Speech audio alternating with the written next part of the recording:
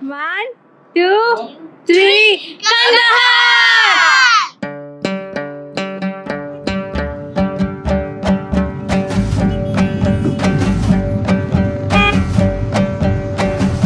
So we, so we just got lost in the city. Uh, we asked the policeman to show us the uh, direction or the route to the tourism uh, permit office, and he he struggled to read from our last permit to identify what we are talking about. The language barrier was real, and uh, then he put us into one of these cabs, a shared taxi, and now we're going all around the city. And uh, just now, uh, Amrik, who has a channel called Walking with Torna, uh, we've been in touch with him and his wife to like pretty much find out places here in Afghanistan. He uh, sent me a message with a map marker of the office, and turns out this office is right next to our hotel. Like We could have just 100 walked meters walking. minutes and we would have reached the office. But instead, now we have like traveled for almost 12 kilometers. yeah, We now we are Kandahar city. so there's like this one main road in the city that spans from west to east. So we've been driving on that. Now hopefully we reach the center again near our hotel and we can go to that office. We've just stopped here because driver is filling gas today.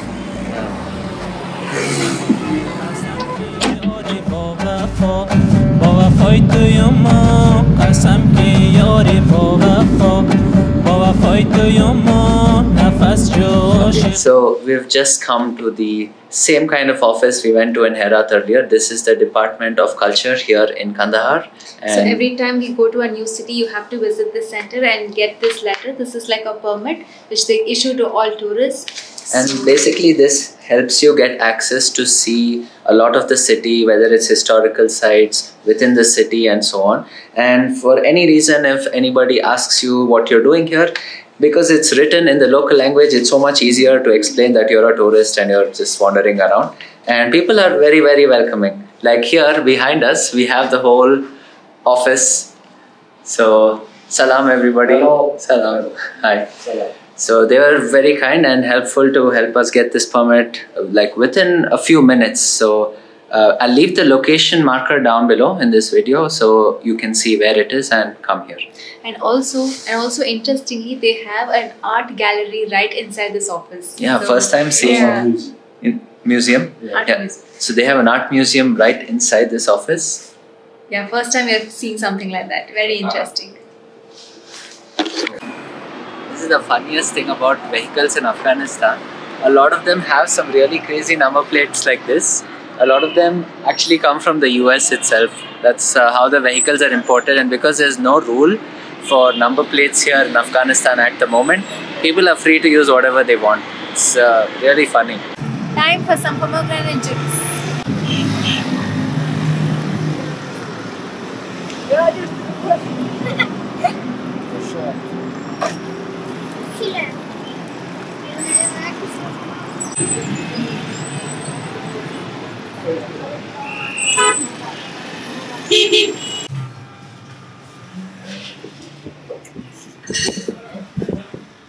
Tam sad čili, sada gluvate medmanali.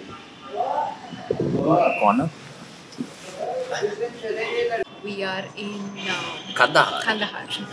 we are in Kandahar today. Uh, it is one of the larger cities in southern Afghanistan and actually very, very busy. The moment we stepped out of our hotel, it's been crazy everywhere. Herat actually feels like a very small town when compared to how busy Kandahar is. And uh, we got here this morning on a bus ride, which you probably caught in our last vlog. It was a very, very comfortable journey, but we actually got here at a very odd hour this morning. And Bus then reached at 4.30 and it was still pitch dark and very, very cold. So somebody offered to host us at their uh, uh, guest house for about three hours, and they charged us 150 Afghani. So we stayed there. We slept until 8 a.m. and then caught a shared taxi to come here to Kandahar city. As We soon would have slept for longer, but he came at 8 o'clock and knocked loudly on our door and we just woke up and then he had arranged a taxi for us. so he the taxi brought us here to the center of Kandahar city, and we found a hotel. Uh, I think all of that's there in our last vlog, so definitely check it out. Uh, right now, just opposite to our hotel, uh, across the street, there's a small restaurant where we came to. Uh, before coming here, So before coming here, we actually went and picked up our uh, permits to explore Kandahar city. And now that we have it, we are super hungry, so we just came here for a meal. Tasha. So this is so this is the meal we are having. This is uh, rajma, like uh, kidney beans, some bread, some salad, and lassi. Wow. This is really big and I think it will be very filling for us. And this is how they sit. Everybody sits on the floor. They have carpeted it below and they have put something like a table mat on which they serve food. And everybody sits around.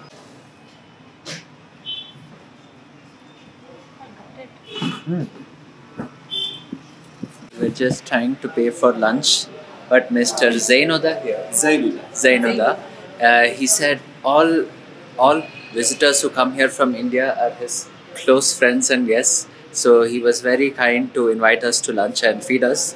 And uh, बहुत बहुत शुक्रिया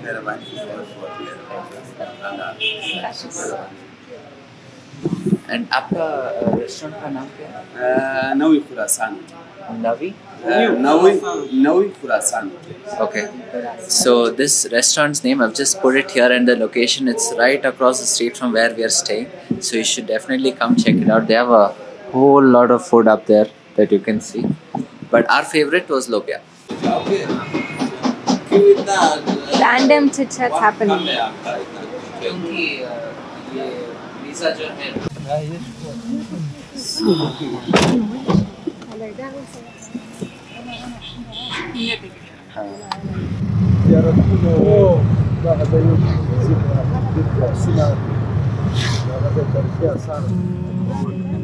spike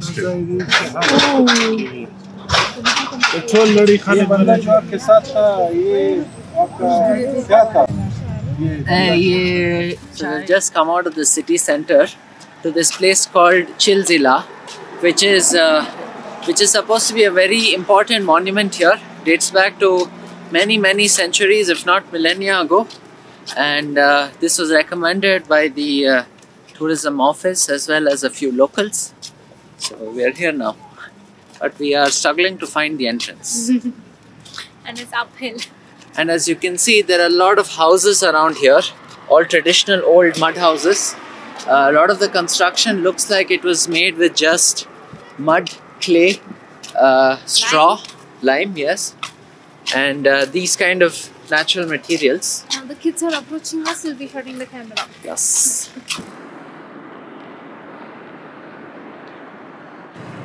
So we've just arrived at Chilzina, which is, uh, in other words, called 40 Steps. There's a stairway here that goes all the way up to a little cave, and this uh, actually dates back quite a few centuries, if not millennia. And uh, nobody's very sure who put or who built this whole thing here. But today there is like a a formal staircase a railing right here. It overlooks the city of Kandahar, and you can actually see quite a few mountain ranges right here. Really big ones, really tall, steep looking mountains. So from here we can see mountains on that side and this entire city of Kandahar.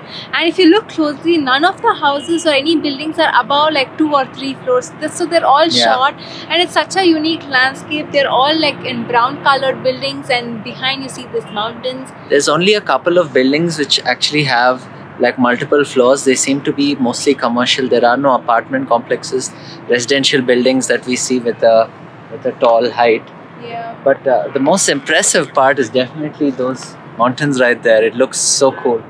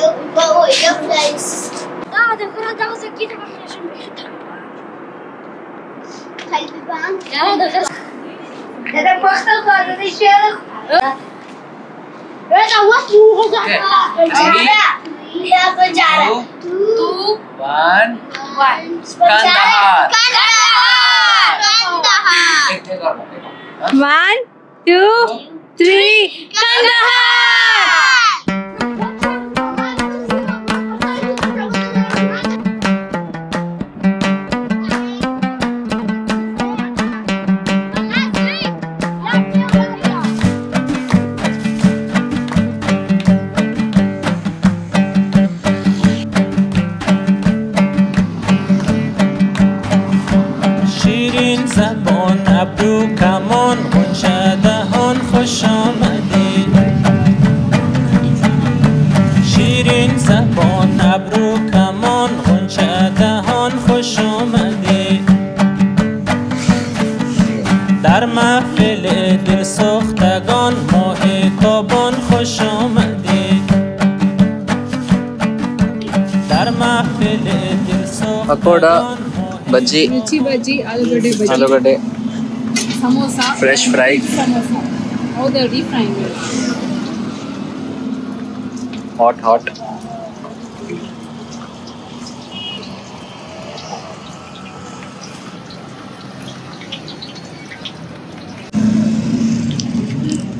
It's actually very spicy, and I love it.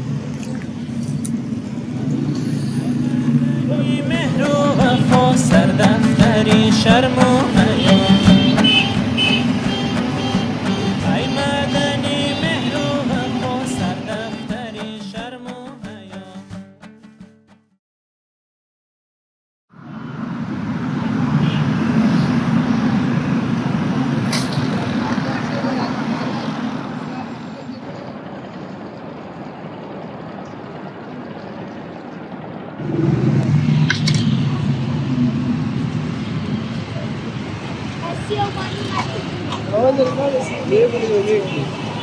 Just found this on the street. It's something like chana chaat. He took these. I think they're like fried bread pieces or something like fried bread. Oh, look, momos. Oh yeah. You know.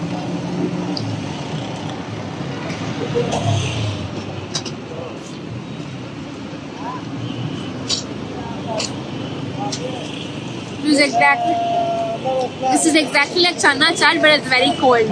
In India, you get it hot, but here it's cold. To remember, yeah. So Hello. What is your name? My name is Hikmatla. Hikmatla. Yeah. And your friend? My name is Samiula. Samiula. Okay. Uh, nice to meet you. Uh, आपका नाम क्या है मेरा नाम यसानुल्ला है everybody has similar you can take a picture so we've just on the streets of Kandahar at night. So all of this is. Uh, so Kandahar used to be the headquarters of the Taliban before the US left. A lot of the operations were carried out from here. So naturally, this was considered to be one of the more dangerous places back then when looked at from a Western perspective and also for locals. However, today it's a very different situation. Uh, the officers had assured us that we could step out and enjoy the evening. And you And- can vlog comfortably. So that's what we are doing now. We are uh, pretty close to our hotel. We didn't wander too far away. We just wanted to get some snacks and we've got it. So that's what we've been up to today. Uh, every place. Now, yeah, we just now saw a huge SUV filled with like eight men, and all of them are carrying those big things. As you can see, it's very, very busy behind us. A lot of traffic. Even the square in front of us is very busy. A lot of taxis moving around. And if you just stop for a minute, everybody is gathering around us. It's a little scary for me because you know they just touch you, they hold your hands, they start to talk. As in, they don't touch her, they touch me. They touch only now me. Yeah. But if there are girls around, they come around me, Yeah. So she had little kids, little girl children poking running. me and telling, "What's your name? What's your name?" It's nice to know that they know a bit of English. Yeah. That means uh, they are allowed to study till sixth grade at the moment. I don't know if things will change, but when they do speak, they do know a bit of English. Yeah. So that's uh, nice to hear. उधर India में आप क्या करते हो